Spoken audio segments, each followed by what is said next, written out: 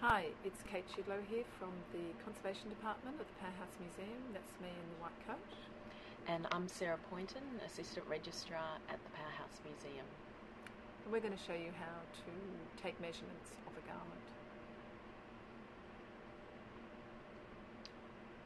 Obviously, every garment is going to be different, and the different different measurements are going to be relevant to the different uh, objects. But in this instance, we're going to show you an example of measuring a bodice and also measuring a skirt. Here we have the, the bodice, and we're going to measure the the inside measurement of the neck. And what we look for is actually taking the measurement from the, in this example, from the fasteners, the point of the fasteners, rather than the actual edge of the collar, because it gives a more accurate measurement of what the, the neck. Because um, sometimes they have flaps, is. don't they, overlapping? That's flaps. right, yeah.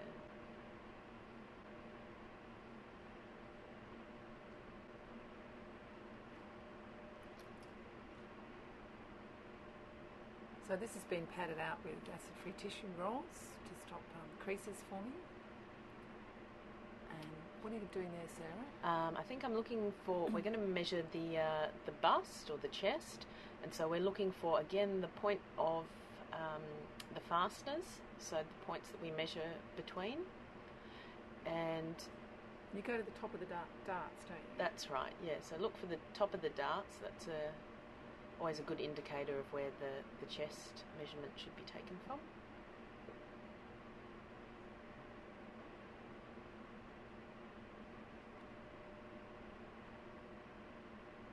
So it's good to have two people with this, isn't it? One person holding one end of the tape.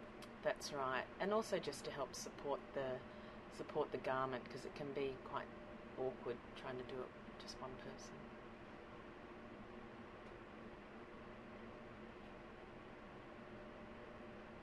It's a beautiful dress, isn't it? Mm, it's lovely. What date is it? Um, it's late nineteenth century, a David Jones dress Ah. actually. and here we're going to measure the waist. It's actually quite um, it's quite lucky in this instance that it has a band that gets secured around the waist, um, but that's obviously not always the case.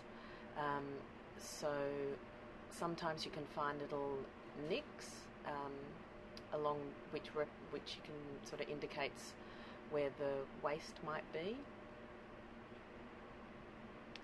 And again, measuring between the two fastening points. And it's good to actually take the measurement along the middle of the, um, the waist. There we are, we can see the nicks there.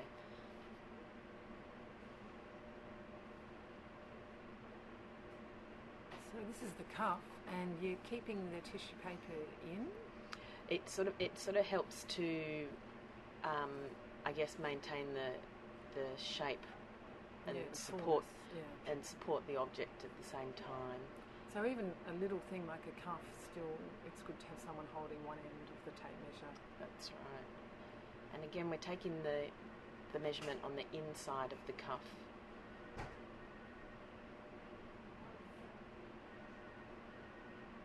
Do you measure in centimetres or millimetres? in millimeters. And that can be more uniform.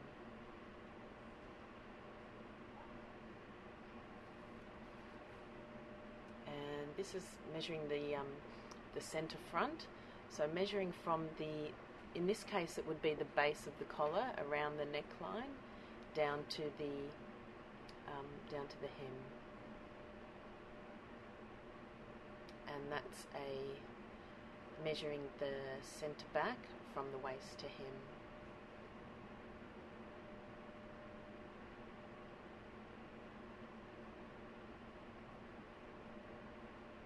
And again, waist to hem, but at the front.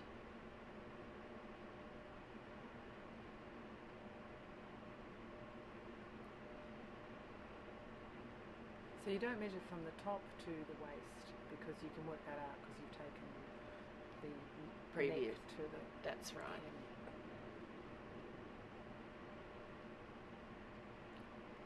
So and this is a leg of mutton sleeve, isn't it? it is yes. So we we try and take the, the measurement from the I guess the, the beginning of the shoulder and curve it out around the um, the sleeve.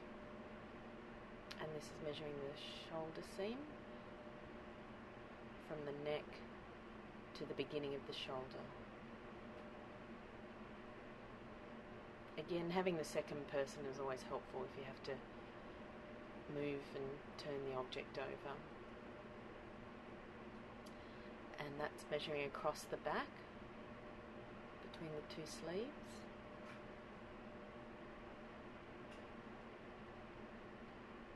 The other measurement to take at the back is from the underarm to the underarm. So you actually measure from the side seam underneath one arm across the back and to the side seam under the other arm.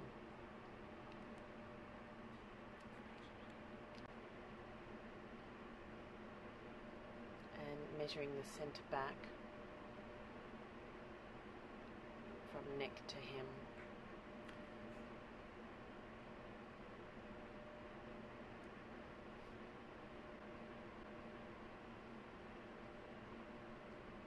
And now we're going to look at measuring a skirt. So there's an information sheet with little diagrams of all these areas for measurement, isn't there? That's right. And as I said, not all of the measurements that um, are going to be relevant to all garments. So this is a very large hem.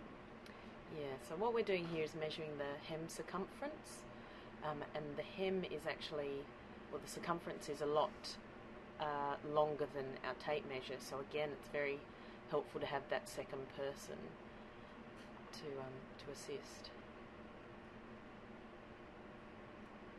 And we're taking this measurement on the inside of the garment.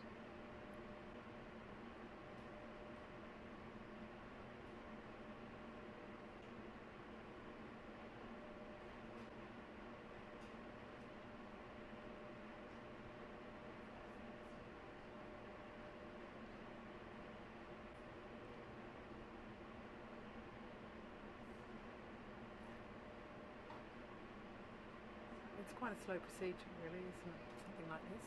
It is, and it can Shouldn't be, um, rushed.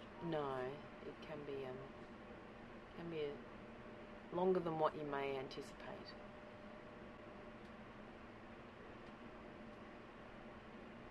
And there's acid-free tissue rolls in the skirt that you could see that were still left in place.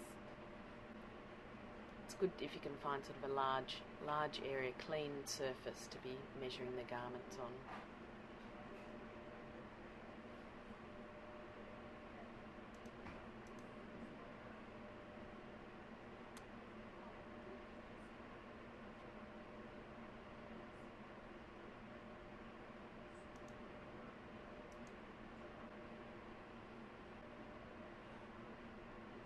So nearly there.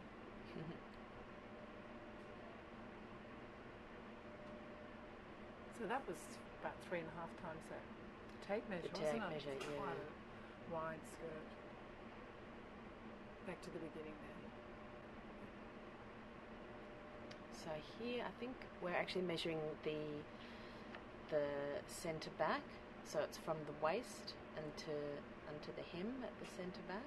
This can be very revealing, can't it? Because um, often uh, you can date a, a, a skirt uh, by um, what length it is, because it can be different from at the front.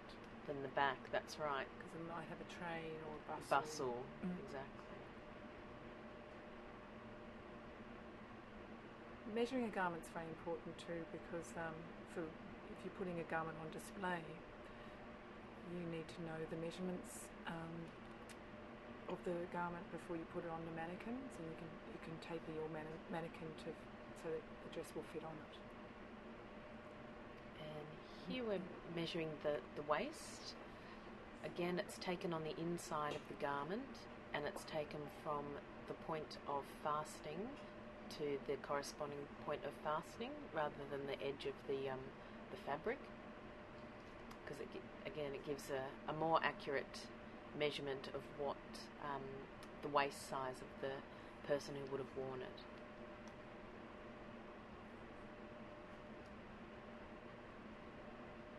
And you can see a detail there of the, I think it's a hook and eye it's fastened with. And when measuring, um, measuring from the waist, it's always important to put the tape measure at the middle of the waistband because that's actually where the waist is rather than the, the top of the waistband. And that's measuring the centre front. So that's a lot shorter than the back, isn't it? That's right. What was that date again? Um, that was 19th century, late 19th century. Right.